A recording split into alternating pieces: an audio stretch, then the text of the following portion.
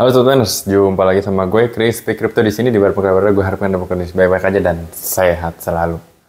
Oke, sobat miners, gue nggak tahu ya. Ini terjadi terlalu tiba-tiba, tetapi ya selamat uh, Bitcoin udah naik ke 21.000 per hari ini. 21.000 lebih, malah udah 21.200an terakhir kali gue cek per video ini gue lagi bikin ya uh, sengaja gue pantau dulu marketnya ya. Jadi kayak gue cari beritanya gue analisa dulu segala macam ini beneran gak sih naik? Karena gini ya jadi kalau misalnya bos sobat-sobat miners yang kemarin sempet DCA di 16.000 atau mungkin yang sempet beli di 16.000 itu kalau misalnya lu semua ada yang langsung jual sekarang di 21.000 ini wah itu udah pasti luar biasa ya. Tiba-tiba kenaikan dari 16.000 ke 21.000 itu udah pasti, uh, wah itu udah cuan habis. Jadi kongres, tapi jujur kalau buat gue sendiri, gue masih gue melakukan DCA. Jadi gue belum melakukan penjualanan. Gue punya target harga yang memang menjadi target gue. Bahkan gue dalam waktu long, long term ya. Jadi gue targetnya itu lebih ke waktunya daripada ke harganya. Tapi congratulation itu diucapkan untuk ke kalian yang udah pada jual dari 16.000 sekarang di 21 ribu itu selamat ya untuk para sobat-sobat miners yang yakin sama Bitcoin bakal naik.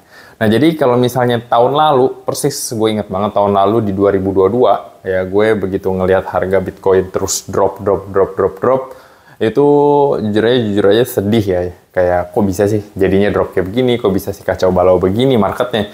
Tetapi sekarang begitu memasuki market di 2023 ini, di bulan Januari yang bisa dibilang masih bulan Januari, sekarang udah naik uh, jujur aja tuh luar biasa banget ya rasanya tuh kayak senang gitu. Di uh, congratulations lah intinya buat orang-orang yang hodl dari 16 ribu terus tiba-tiba mau jual di 21 ribu. Tetapi gue masih lebih uh, ke tim yang hodl dan jangka panjang ya jadi pemikiran di situ.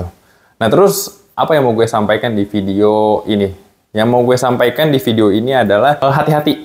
Uh, ya jadi bull run ini bisa jadi bull run bisa jadi bull trap. Ya jadi menurut gue lu semua itu mesti hati-hati. Jadi kenapa gue bisa bilang ini bull run atau bisa bisa, bisa bilang ini bull trap.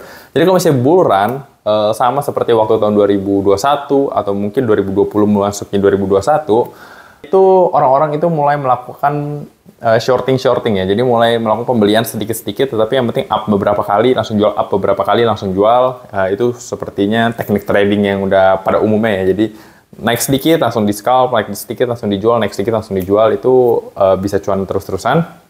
Itu kalau misalnya kita memang sudah memasuki uh, bull run. Tapi kalau misalnya bull trap itu gimana? Nah, kalau misalnya bull trap itu tiba-tiba ini lagi naik terus orang-orang memanfaatkan momentum, nggak taunya ternyata momentumnya langsung drop, langsung jatuh.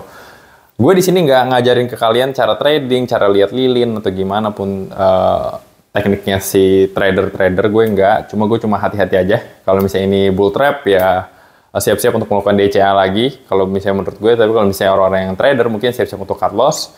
Jadi bijaksana ya terhadap situasi. Jadi jangan terlalu maruk jangan terlalu tiba-tiba. Ya kalau misalnya yang tim hodlers kayak gue mungkin ini gak gitu ngaruh karena pemikirannya jangka panjang pemikirannya masih di depan. Tapi kalau misalnya orang-orang yang uh, buru-buru mau jual buru-buru mau beli uh, balik lagi jangan FOMO dan mesti hati-hati. Oke? okay? Nah di sini pun gue sudah mengumpulkan beberapa berita biarpun beritanya nggak gitu menurut gue nggak gitu support ya nggak gitu solid ya. Jadi kayak gue cari tahu gitu loh apa yang membuat kenaikan Bitcoin, apa yang membuat kenaikan si Bitcoin tuh lumayan karena begitu Bitcoin naik, lu semua boleh lihat aset kripto yang lain ya, mau shitcoin ataupun bukan shitcoin, di Ethereum, uh, Shiba, Doge, uh, Ethereum Classic, XMR gitu-gitu semuanya ikutan naik, ya kan? Naiknya pun juga, ya naiknya nggak sesignifikan Bitcoin ya, naiknya begitu lebar, naiknya baru sedikit.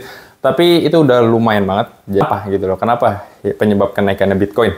Kalau misalnya gue sendiri cari dari Cointelegraph, uh, CNBC, lalu juga dari Koinvestasi bahkan, uh, dan juga Investopedia, semua itu ya fakta-fakta itu yang coba gue cari ternyata uh, gak gitu jelas ya mereka juga gak tahu bahkan ada yang kayak so called expert itu mereka tuh belum tahu kenapa kenaikan Bitcoin yang tiba-tiba ini.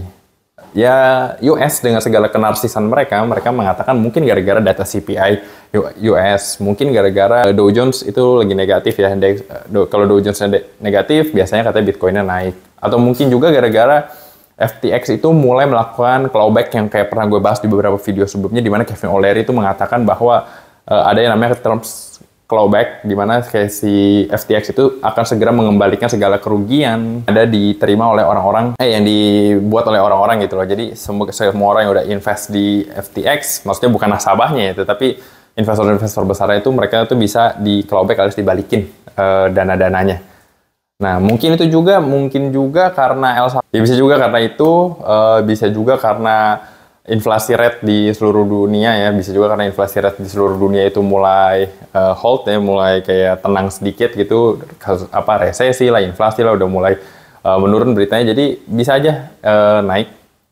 Jadi bisa aja 16.000 kemarin, lalu memasuki 18.000, lalu sekarang kita ada di 21.000 lebih, mungkin aja ini sudah menjadi akhir daripada si Bitcoin punya apa kita ya bearannya bisa akhir jadi ini udah mulai buluran bisa rally terus naik naik terus naik terus seperti saya sobat-sobat miners juga tahu bahwa Bitcoin itu akan halving tahun depan. Jadi ini ada kemungkinan seperti yang pernah juga gue bahas bahwa eh, kapan waktu yang tepat untuk memulai mining atau kapan waktu yang tepat untuk ngumpulin Bitcoin atau Ethereum atau kapan pun itu adalah sesa, justru setahun sebelum halvingnya. Ini gue pernah bahas. Tetapi bisa juga ini trap. Jadi sekali lagi gue sangat menyarankan kalian bijak dan hati-hati uh, memasuki uh, market yang sedang bull ini ya. Jadi sampai ini mungkin bener-bener ngelewatin beberapa batas harga tertentu ya. Uh, jadi kalian liatin beberapa analisa tuh boleh banget. Tetapi jangan terlalu dipercaya. Jadi lihat beberapa analisa. Jangan cuma satu, jangan cuma dua. Jangan cuma nonton satu YouTube, dua YouTube, atau satu, baca satu, dua, tiga artikel. Tapi baca artikel yang banyak. Jadi kalian tahu oh ini kalian melakukan tindakan yang tepat.